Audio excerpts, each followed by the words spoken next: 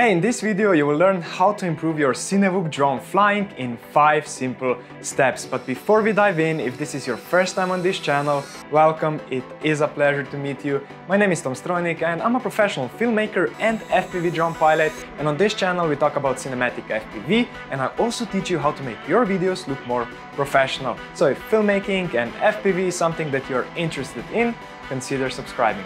Now without further ado, let me share my 5 steps to better Cinewhoop flying. Step number 1.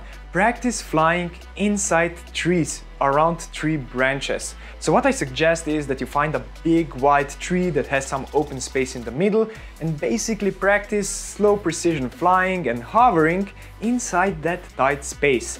This will force you to learn how to do micro adjustments with your controller gimbals because suddenly you're not in an open space anymore and there is not much room uh, for making mistakes because tree branches are limiting your movement. Step number two, find a bando, an old abandoned place. Once you feel comfortable flying inside a tree, you need to put yourself in a new challenging environment. So inside Bando that I like to fly in, there is very little room for making mistakes. Because if you crash, well, let's just say that retrieving a lost drone is not the simplest mission to do.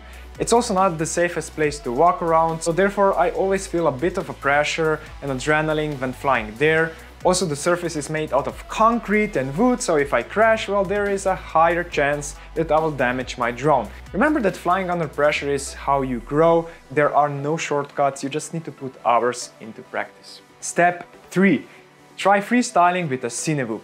Yes, primarily Cinewhoop is a tool meant to be used for slow cinematic precision flying. But the reason why I want to encourage you to try to fly it like it's a racing drone is because, well, it will force you to become a better pilot. Okay, so first things first.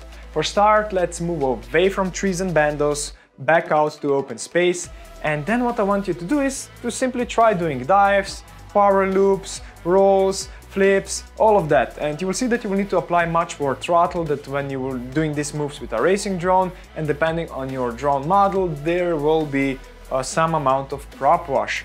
And after you feel comfortable doing this in an open space, go try do them in tighter spaces. Another thing I want to mention here is that, well, it's well known that most Cinewhoops don't handle strong winds well because of the prop guard design, so make sure to also try flying in windy conditions.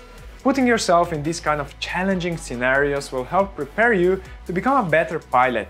And if the winds are too strong, well, then just go have some fun with the racing drone. Quick thing I want to mention before we move on to the next step is that if you're someone who is trying to get into FPV world, but you don't know where to start, well, with my fellow friend and FPV drone pilot Dominic, we created 7 Day FPV, an online crash course where in 7 days we teach you how to fly FPV drones, what gear to buy, how to assemble everything together and much much more. We know how overwhelming it can be to start with FPV, so we did our best to gather all required info in one spot and simplify everything. So yeah, if you're interested, make sure to click the link below this video. Moving on to step number 4, which is practice Cinewhoop chasing. If you haven't already, find a friend who flies FPV drones as well. I mean, this is what FPV is all about, right? The community, to help each other grow and to have a good time. And chasing each other with Cinewhoops is not only a ton of fun, it will also sharpen your flying skills. Just make sure to talk to each other when flying so that you don't crash. Simple as that. And the last step number five is more uncomfortable, uncomfortable situations. You know it by now, flying under pressure is how you grow. Maybe you're not used to flying close to people, well, go and practice that. I mean, this is why Cinewhoops have prop guards, so try to fly through your legs or your friend's legs, go chase, follow someone, just be creative. But remember, safety is a priority, don't rush into it until you've mastered previous steps. Uh, also, flying in real estates close to valuable objects is another scenario that will require calm nerves and steady fingers. You see, FPV cinematography is still relatively new, so this kind of content will stand out on social media. Cinewhoop is a very versatile tool that opens a whole new world of filmmaking possibilities, so make sure to use it to its maximum potential. And yeah, I want to see you flying, post some of your Cinewhoop videos below in the comments, and I can't wait to watch them.